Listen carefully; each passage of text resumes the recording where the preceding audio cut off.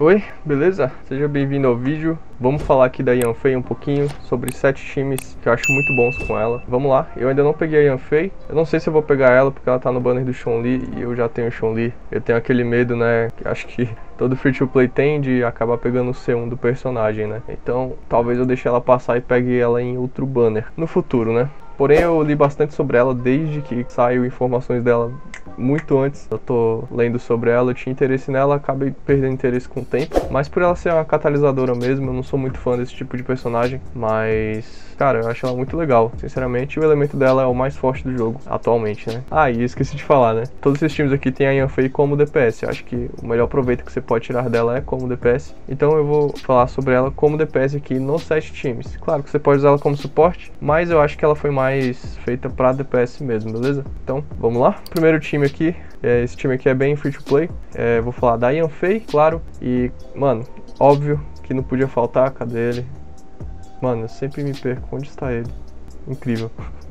Enfim, o segundo aqui é o Bennett. Ele tá no time pela ressonância Pyro, que vai dar mais 25% de ataque. E ele tá falando aqui no meu vídeo. Enfim, vai dar mais 25% de ataque com a ressonância Pyro. E ele vai ser o healer desse time. Vai te curar quando você precisar. E também vai te dar o buff de ataque, né? É o Bennett, todo mundo conhece ele. Acho que é o personagem mais amado desse jogo, né? E aqui, talvez, é uma das personagens que eu acho que mais combina com a Yanfei é a Sucrose por conta dela ser anema, ela consegue espalhar os elementos, mas a sucrose consegue aumentar a proficiência elemental do seu personagem, que as duas passivas dela, né, aumentam a sua proficiência elemental, que aumenta o dano das suas reações elementais. Então, quando você causa vaporizar, quando você causa derreter, é, tudo isso, o dano é atrelado à proficiência elemental. Então ela aumenta isso. E essa build aqui vai ter a Rosária também para causar essas reações. Então a Rosária é uma personagem nova aí, muita gente pegou ela. E ela é uma personagem cryo que causa muitas reações de forma fácil. Então o supremo dela fica lá no chão, fica causando cryo o tempo todo. Então é fácil de causar reações com ela. Então a Rosária vai causar cryo, a Yanfei vai causar o derreter, né? Que é a reação do Pyro com cryo. E você vai fazer isso tudo depois de ter aumentado aumentado sua resistência elemental com a sucrose, beleza? Então a sucrose está aqui para amplificar o dano da Rosária com a Yanfei. Então essa aqui é um, é um time baseado em reações, beleza? Só que esse aqui não é o único jeito de você usar a Yanfei.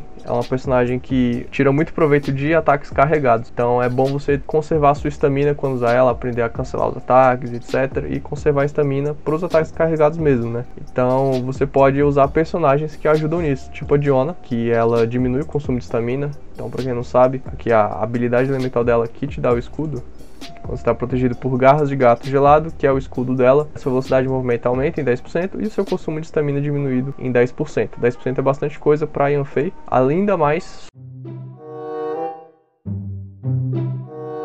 ainda mais somando com a Sucrose e o Traveler Anemo que eu botei nesse time. Então a Diana tá aqui para ser o healer, ela vai conseguir causar reações também, só que ela vai estar tá mais aqui por essa diminuição de consumo de estamina, beleza? Por seu ataque carregado. E aí vai ter também a Sucrose, pelas coisas que eu falei no time passado, que ela vai aumentar a proficiência elemental, e vai ter também o Traveler Anemo. Eu não tenho ele aqui, né, nessa página aqui. Deixa eu mostrar ele aqui. Então aqui o Traveler Anemo, né, ele vai estar tá nesse time aqui com a Sucrose para fazer a ressonância Anemo, aqui, para quem não sabe, deixa eu mostrar aqui, ela vai diminuir o consumo da sua estamina, né? Então aqui, ó, diminui o consumo de estamina em 15%, aumenta a velocidade de movimento em 10% e diminui a recarga de habilidade em 5%. Então, com esse consumo de estamina aqui diminuído em 15%, mais os 10 lá, vai ser 25% a menos de consumo de estamina. É bastante para quem é bem focado em ataques carregados que consomem muita estamina, né? Vai ser um time muito bom para Ian Fei, acredito eu. Além disso, vai ter Diana para causar as reações, que também é muito bom, né? Então, terceiro time aqui vai ser a Ian Fei, de novo, claro, com o Chun Li. Então, grande chance de você pegar o Chun Li também, porque eles estão no mesmo banner. Então, o escudo dele vai proteger a Ian Fei, já que ela usa ataques carregados, ela fica um pouco vulnerável. Então, é bom ter um personagens com escudo com ela, tipo a Diona que eu falei nos times passados. Então o Chun-Li vai proteger ela aqui nesse time, o escudo dele é basicamente impenetrável, vai proteger ela enquanto ela usa ataques carregados. É, além disso, vai ter a Jean, então a Jean vai estar aqui pelo healing, ela vai curar o seu time, caso você precise, já que talvez você não precise porque tem o Chun-Li. E é, além da Jean vai ter o Vent também. Cadê o Vent? Aqui o Vent para ressonância, que vai fazer as mesmas coisas, né? Vai diminuir o consumo de estamina, aumentar a sua velocidade de movimento e de ataque. E, igual eu falei, diminuir o consumo de estamina é muito bom com a Yanfei. E além disso, ele vai fazer as coisas que o Vent faz, que é agrupar os inimigos, né? Então isso é muito bom. Esse time aqui não está focado em reações elementais, então ele pode perder bastante dano, já que reações elementais são um grande de foco do dano Pyro, né? Aqui, próximo time vai ser a Yanfei com a Mona. A Mona é uma ótima causadora de reações, muito subestimada. Ela consegue causar Hydro bem fácil. Então ela e a Yanfei vão ficar causando Vaporizar o tempo todo. E além disso, vai ter o Kaia, que também consegue causar reações fáceis com o Supremo dele, já que ele fica muito tempo em torno de você. E vai ter também a Diona, pelo healing e pela ressonância com o Kaia, que vai aumentar a sua taxa crítica. Então aqui ó, impacto de Cryo, que é a ressonância Cryo, ele vai aumentar a taxa crítica contra inimigos congelados ou afetados por Cryo em 15%. Então é bastante coisa, 15%. Próximo time aqui vai ser outro time que não é tão focado em reações, mas vai ter também, ao contrário do outro que era nulo, né?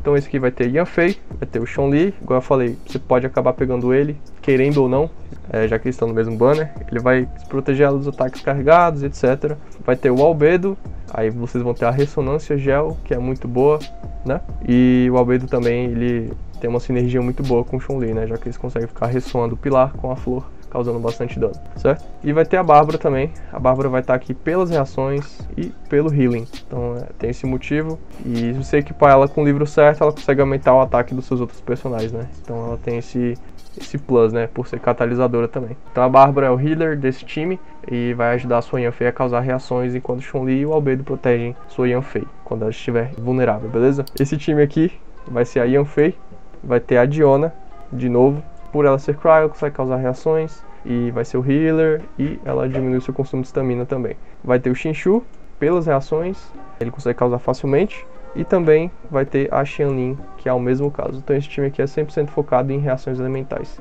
É, além disso, a Xianlin vai fazer a ressonância Pyro com a Yanfei, né? Vai aumentar o seu ataque, certo? O último time que eu separei é a mistura de Free to Play com Pay to Win. Então esse time vai ter a Yanfei, o Bennett, que eu imagino que muita gente pensou que eu ia colocar em mais times, mas aqui está ele de novo. Ele vai aumentar o seu ataque, igual eu falei, vai ser o healer e vai ter a ressonância pyro, é, que é muito forte, né? É, e além disso, vai ter o Kaia, então vocês vão conseguir causar, é, derreter o Kaia com a Yanfei, né? E o Kaia é muito bom como suporte. E vai ter o Vente, para agrupar os inimigos e, enfim, você conseguir causar o maior dano possível para o maior número de inimigos ao mesmo tempo. É, esse time aqui ele tá meio que pegando um pouco de cada time, então ele não é nem focado em uma coisa, nem focado em outra, mas é um time que pode muito dar certo, beleza? Então é isso, espero que vocês tenham gostado, comentem o que vocês estão achando da Yanfei, eu ainda não peguei ela, porém ela parece muito boa. Então, se vocês curtiram ela, deixa aí a opinião de vocês sobre ela. Se vocês vão usar algum time desses também, comenta aí. Quais times vocês vão usar com ela, se não vão usar nenhum desses, já que a gente tá cheio de possibilidades agora. É, enfim, obrigado por ter assistido e fiquem bem.